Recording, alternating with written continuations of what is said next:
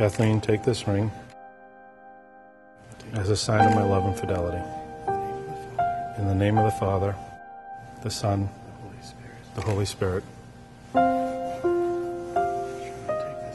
Sean, take this ring as a sign of my love and fidelity. In the name of the Father, the Son, the Holy Spirit.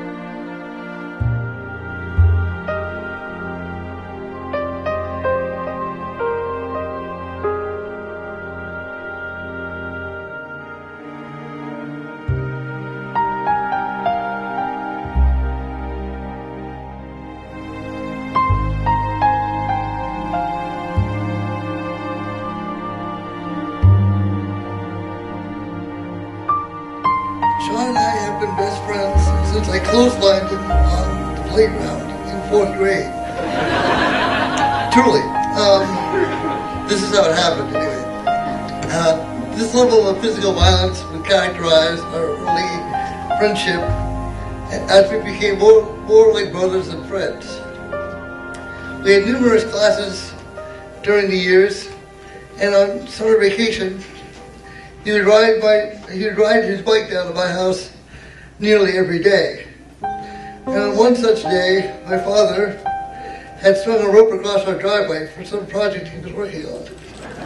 And Sean rode his bike right into it, clotheslining himself. He flew off his bike, struck the ground, and lay there for several minutes, I thought sure we had killed him. And to this day, I still maintain he suffers from some neurological disorder because of this.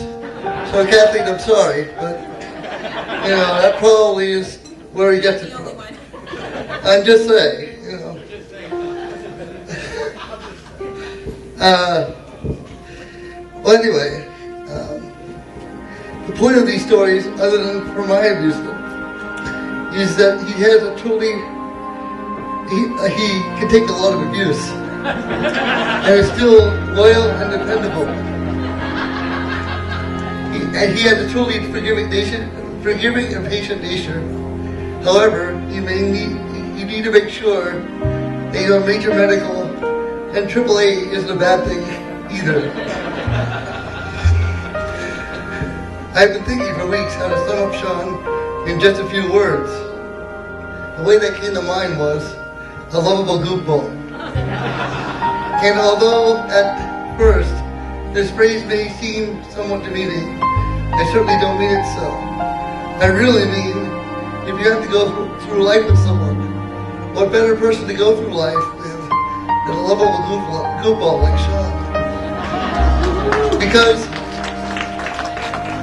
because when things need to matter, he'll take them seriously. And when life gets too hard, and believe me it will, it is the goofy part of it that'll help you get through it. This is a large part of his personality. It's a big reason why we, we were best friends for 28 years. And it's, become, it's because of our long friendship that he would typically talk to me about new girlfriends. And instantly I realized that Kathleen was very different. That his love for her ran much deeper.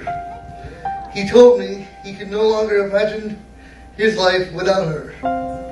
That she was supportive of him. And he was truly a better man with her in his life. That they could that he felt that he could forge a new life together with her as a true partner. And that the family that they would create would be similar to the great and loving families from which they both came. He was sure that their love would endure no matter how, no matter what life had in store for them. So in this spirit, let us lift our glasses to the happy couple with wishes of a long and fruitful life together. Thank you. Um, to uh, thank Mr. and Mrs. Davenport for hosting this lovely evening. Um, it is evident that they have taken great care to host us, and everything is beautiful. I would also like to welcome the Ellis family tonight who have traveled from Florida to be here this evening. I have known Kathleen over the course of 15 years, and in that time we have shared numerous struggles and triumphs together. I consider her one of my best friends. She is truly one of the most loyal people that I know, and that is why I was so very happy when she met and fell in love with a man like Sean. I clearly remember her feeling that he was the one for a long time, and after some time, she asked me if she and Sean could take my son Aiden to the Big Apple Circus because she wanted to see how Sean interacted with children. The last big item on the list. And of course, when Aiden and Sean came home and were sword fighting and roughing around in my kitchen, I knew that Sean had passed the test and the deal was sealed. And I couldn't be happier to be standing here today wishing them well as they start their own lives together. I would just like to end with this last thought. If everyone could raise their glasses as we toast the bride and groom to an Irish wedding blessing. May the light of friendship guide your paths together. May the laughter of children grace the halls of your home. May the joy of living for one another. May the light of friendship guide your paths together. May the laughter of children grace the halls of your home. May the joy of living for one another trip a smile from your lips, a twinkle from your eye. May the spirit of love find a dwelling place in your hearts. Congratulations.